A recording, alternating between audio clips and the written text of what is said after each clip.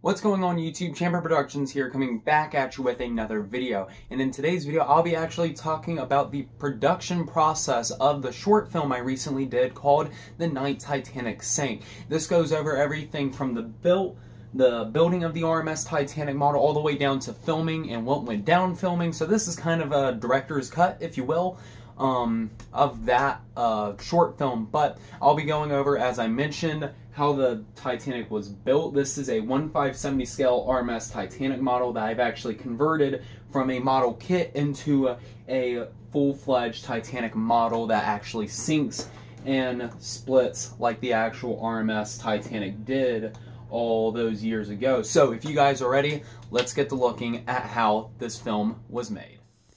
So for this whole project, I started out with a Revell um, model kit of the RMS Titanic. This is a 1 570 scale RMS Titanic, and you can get them on eBay now for about $20 or so. I've seen some that have run for about $15, $16. They're not all that expensive, but I started off with this model kit, and I started by painting the main hull of the ship a red. Uh, this is a flag red that I use. It's all acrylic paint.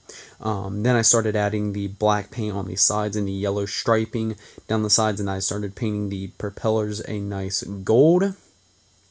Then after that was done, I painted, I started painting the uh, top deck and the smokestacks, and uh, you can see the ship here. It's not glued together just yet. Uh, that was one of the key things. I just wanted to see what it would look like have together, but I started gluing the decks together and painting them. The smokestacks were an interesting process of elimination because they weren't a specific orange or yellow, so it made painting them super, super, super after that, I added the black trim around the top of the smokestack, and then I started gluing them into place.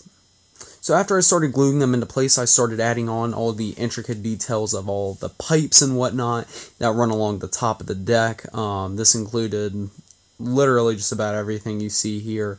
Um, as you can see, all these pipes and lifeboats and all these intricate details had to be glued into place manually.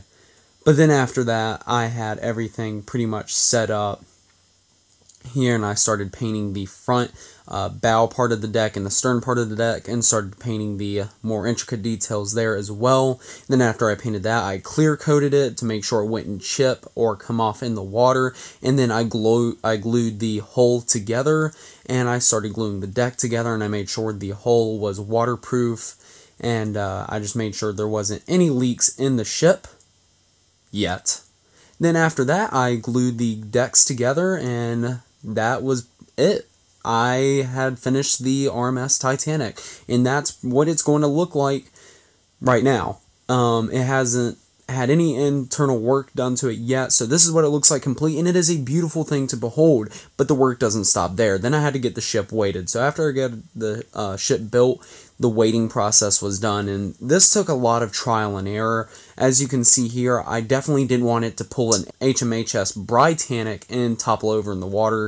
It's definitely not what I wanted. So after I got the ship balanced and everything with all the different weights, I used pennies and quarters and stuff to weight it out, and it had to be astronomically precise. But after I got that done, it floated perfectly. And then it was time to build a watertight compartment. I used a water bottle, cut it up into halves, and then I would cut those halves into smaller pieces to go on the inside of the Titanic itself. And these watertight doors are going to regulate the water flow to give it the bow down motion that the Titanic had during the sinking. So I glued them all into place and I used a lot of hot glue. And then I started cutting the uh, iceberg damage in the hull of the ship. Now I did this in the front part and then I started cutting the ship in half. I had to use a soldering iron. Is there better ways to do this? Yeah, there really is, but that's really all I could do. So I used a soldering iron to cut the bow in half in between the third and fourth smokestack, and that was pretty much it. I added a magnet so it would connect to that bra- that bracket, and that was it. I finally built the uh, Titanic model. So building it it was a bit of a process, definitely. All the intricate details and whatnot, but it definitely did pay off. We can see here that the ship tested quite nicely. I mean, these shots really are nice and it sank really, really nicely. Now, when it came time for the actual filming of the video, I got a giant Tupperware container, a green screen, and a ring lamp. I did have to reconfigure the ring lamp, so this photo isn't accurate to what I actually had it as. But, filming. Filming was a different ballgame, for sure, because for whatever reason, I don't know if it's because I ended up having to mess with the magnet or not, the ship would not break in half. Literally, I took about 16 shots of the ship sinking, and only one of them resulted in the ship breaking in half, and that is this shot right here. This is the only shot in the actual video that you see the ship actually breaking in half like it's supposed to. Every other shot I had to fake in the long run. So, if you've ever seen Steven Spielberg's Jaws, the shark is not working. The shark is not working except this time it's with a 1570 scale RMS Titanic model. But overall, the process of building the ship, it was really cool getting to build it. It's definitely a really cool piece, and the film, the short film itself, turned out really, really nicely, and I'm really pleased with it. Overall, it was a pretty fun experience. I, I gotta admit, it was something unique, something I haven't really done before, and I'm glad I did it in the long run because it, it really did come out nicely, in my opinion. I really am happy with the end product of this film. You know, I feel like it it turned out really well, and I hope you guys enjoyed watching the film as I did in making the film itself and all that good stuff.